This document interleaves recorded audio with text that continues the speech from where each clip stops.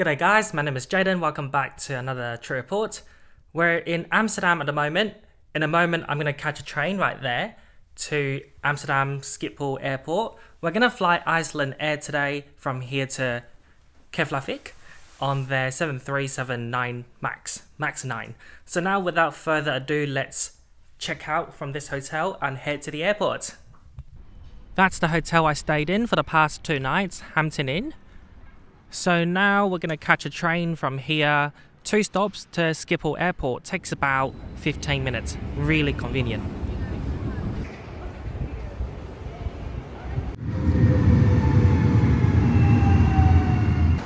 Schiphol Airport today is hustling and bustling. People mountain, people sea. There's only one terminal at this airport. Check-in is split into several departure halls. You'll find Icelandair in departure hall number 1. Iceland is not a member of the EU or European Union, but for travel purposes, it is in the Schengen area. So there's no immigration when you travel from Europe, including Amsterdam, to Iceland. Here's the check-in for Icelandair as well as Finnair, TAP Portugal and Transavia. Self-check-in counters and bag drop machines are plentiful. You may also head to the check-in desk if you don't want to do things yourself. The four airlines share those counters, but the queue is short. This tag is the coolest I've ever seen. You don't need to peel anything, just put it on. Voila, you're done.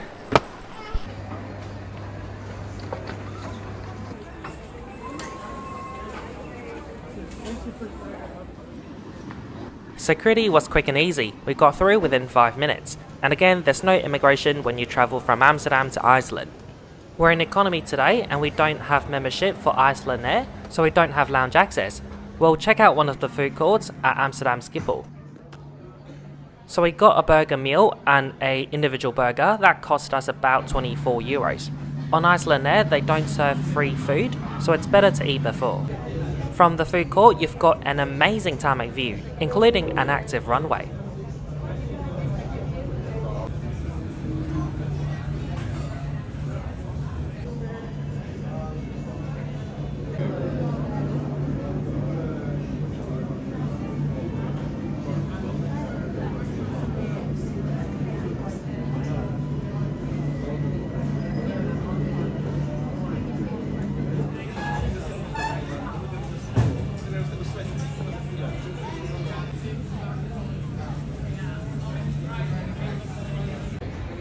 Before long, it's time to head to our gate for our flight to Reykjavik.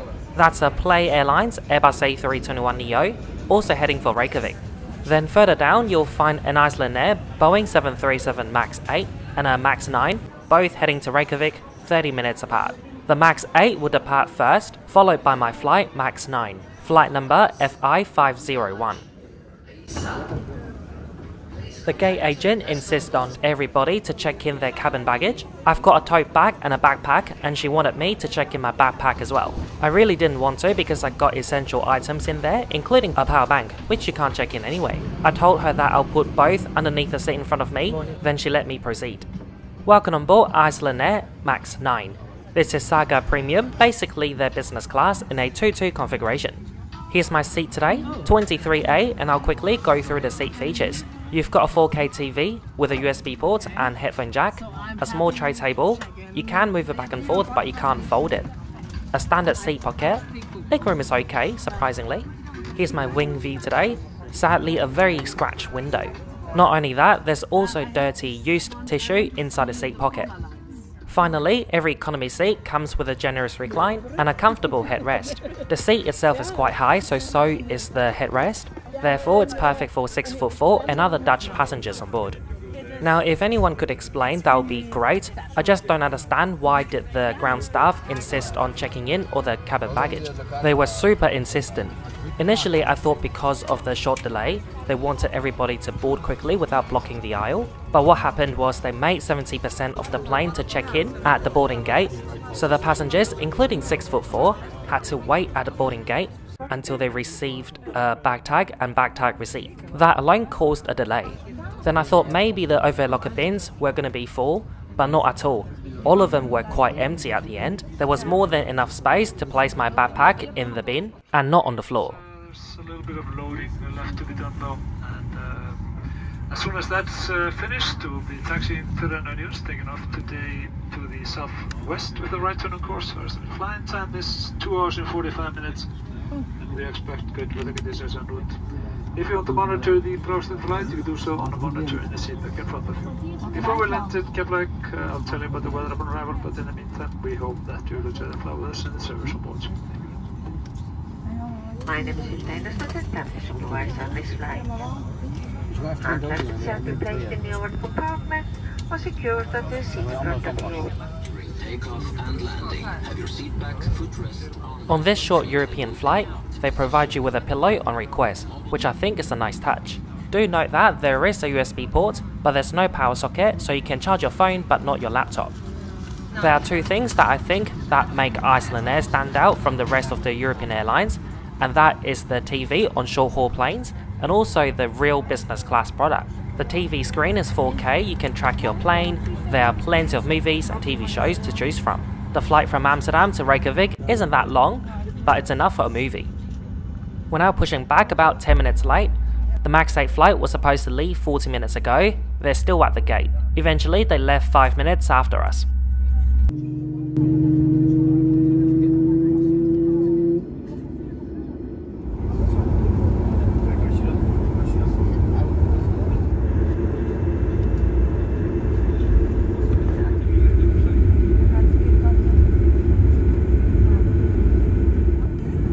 British Airways has a fleet of Embraer. They don't fly from Heathrow or Gatwick, but rather they fly from London City Airport to key European hubs like Zurich, Paris Orly, and Amsterdam. I flew BA from London City to Paris Orly several years ago, and I have that video on YouTube. Do check it out if you're interested. I'll have the link in the description. 6 foot 4 and I were super gutted when we saw our plane at the gate.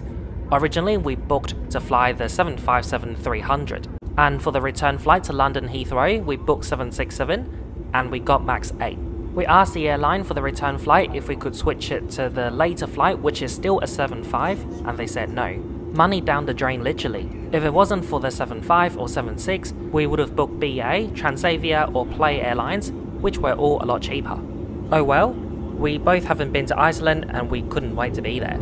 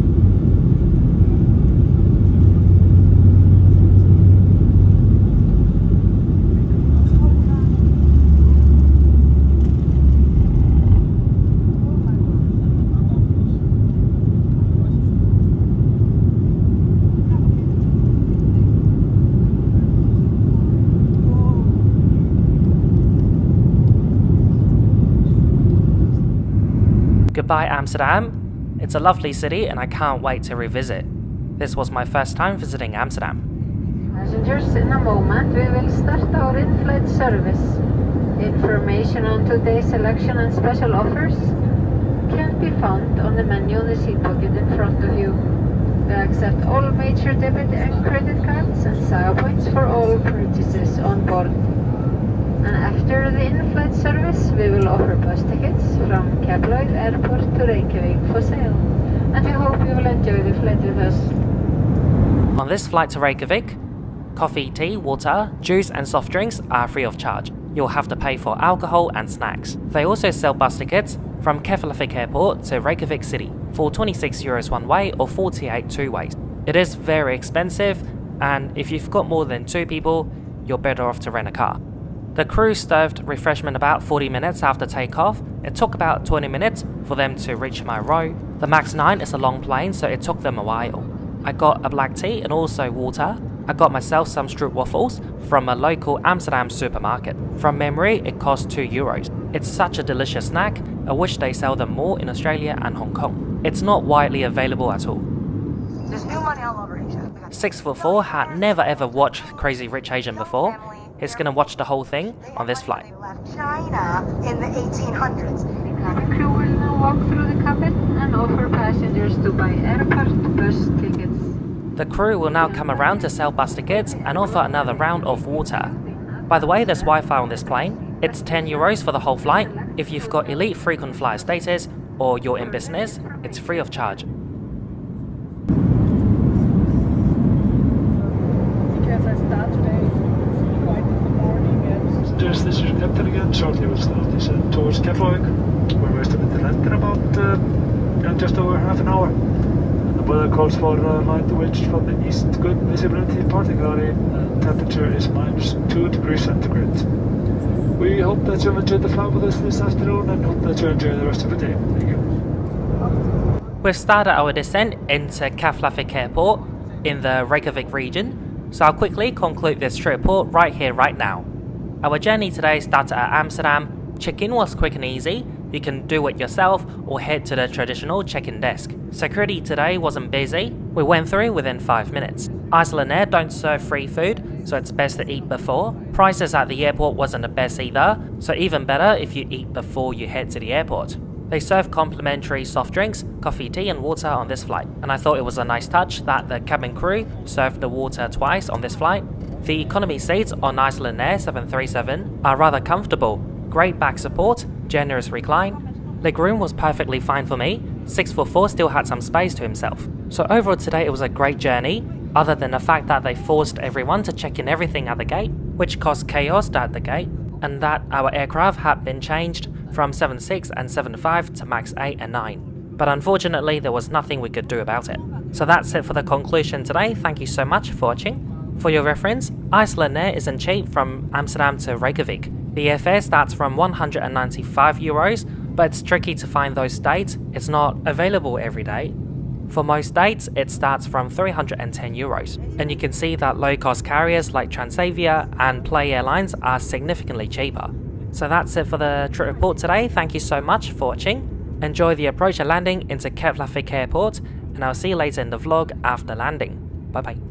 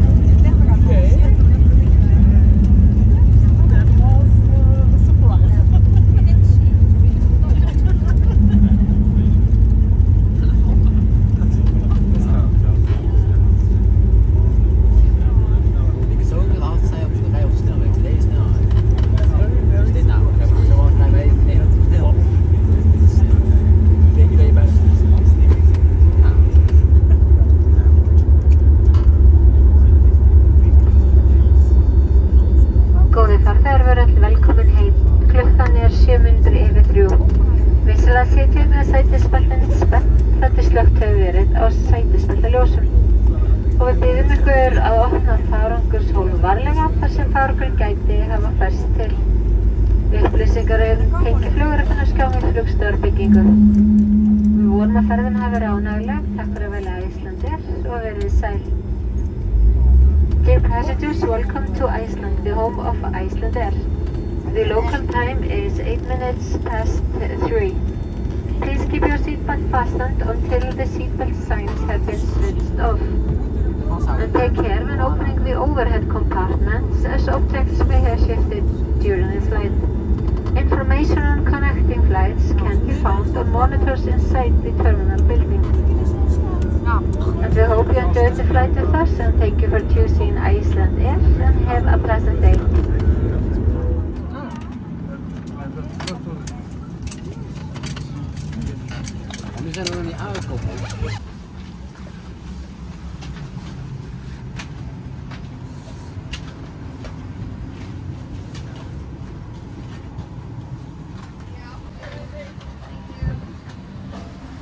You, bye bye.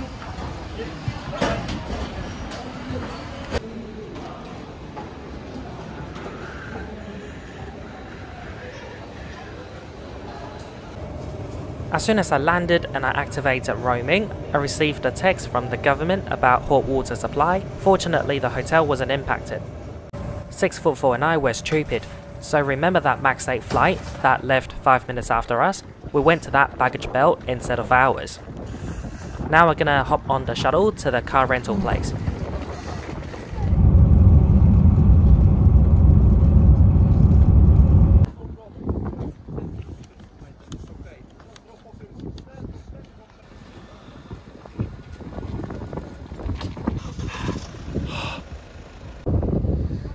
For the next 5 days, we'll be driving this cute little Romanian car.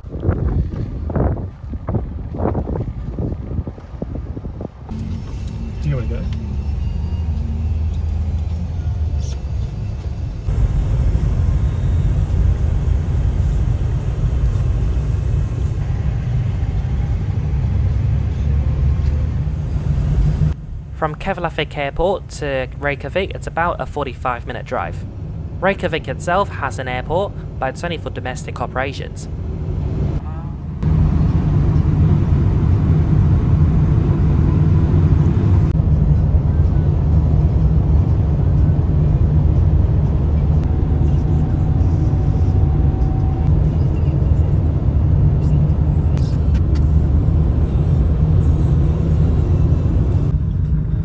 Be staying at the Hilton here for four nights.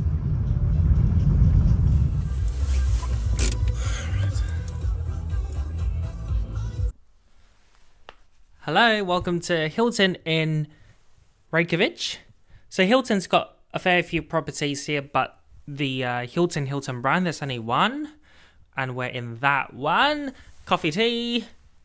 By the way, we got upgraded to King Executive. Uh, something room. So it's massive. It's almost like a suite, but not quite. Junior suite, maybe. The view, stunning, of course. Oh, there's there's a US flag right there. Mountains everywhere, and cars, cars, cars, cars. The bed. Wonder what's this for? Extra layers, maybe. And then you've got the bathroom. Very uh, Scandinavian Nordic design. Must be a thing for cold European countries. Bathtub. Shower within.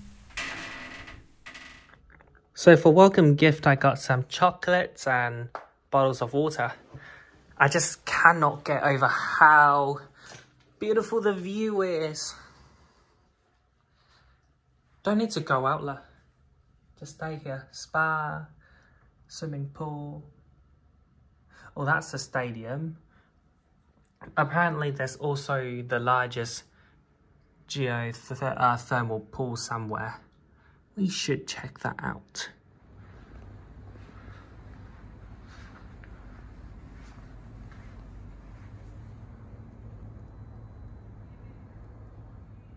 Iceland is really expensive, so we're going to be having breakfast, lunch, and dinner in this hotel. Thankfully, I got Hilton Diamond, so I don't need to pay for anything extra.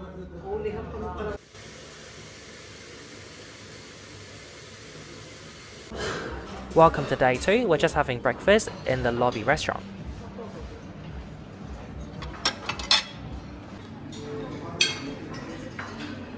I was wondering why they had vodka shot glasses here. It's for fish oil.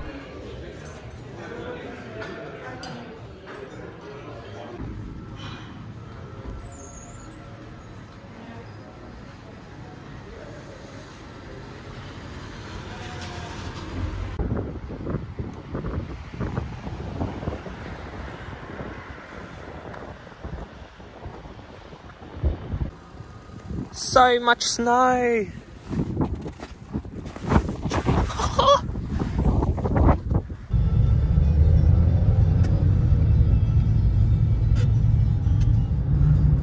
So our first destination today is the Perlan Museum, right ahead. I just can't get over how beautiful this is.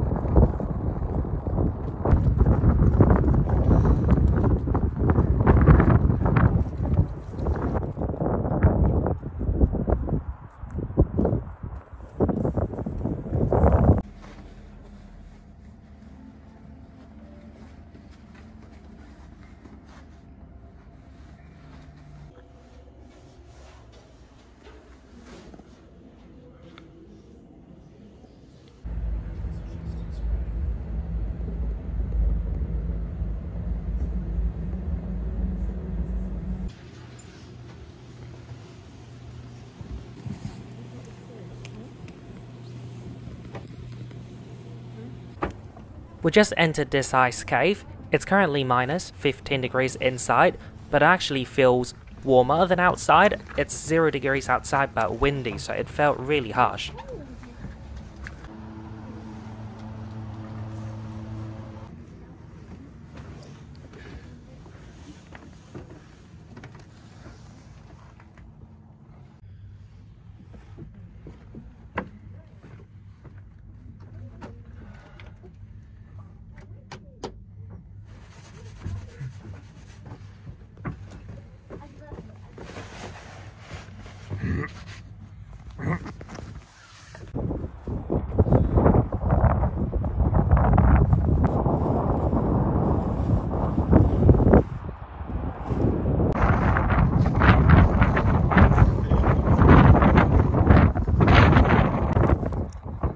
You can see Reykjavik Domestic Airport right here, and you've got the city just there, so close. Some people are walking to get here, the Perlans. I'm, I'm sure we can walk from the city to the airport as well. Gosh, it was so cold outside at the uh, observation deck.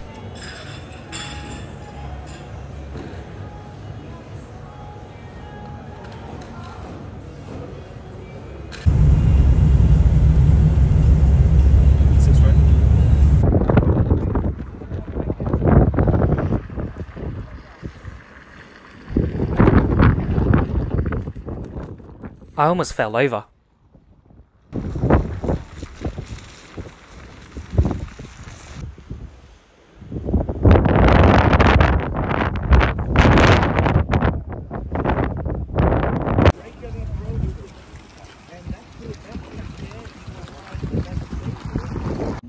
The supermarkets here are like museums for us.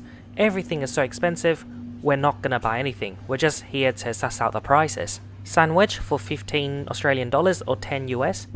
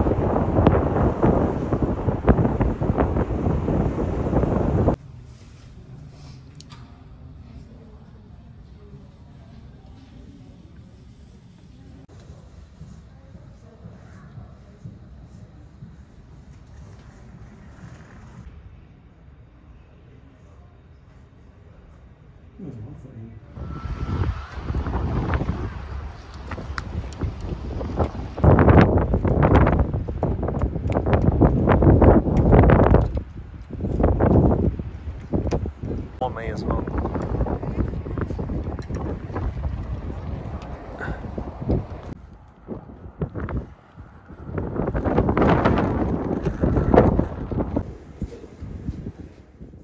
So that's it for the city tour. For day 3 and 4 we're gonna actually head out to the outback I suppose. We're back in the room, nice and warm. And I'll now show you the view during the day. Gorgeous!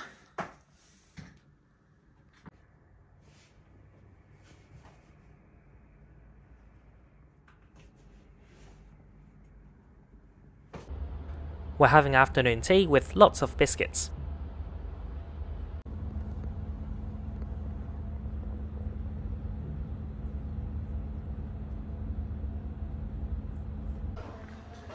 Hilton Reykjavik does the best executive lounge, dinner and soup. They have tempura shrimp, sushi, cheese platter, etc. From a distance, you can see a plane final approaching into Reykjavik airport. I like the billboard ads here, it's really smart.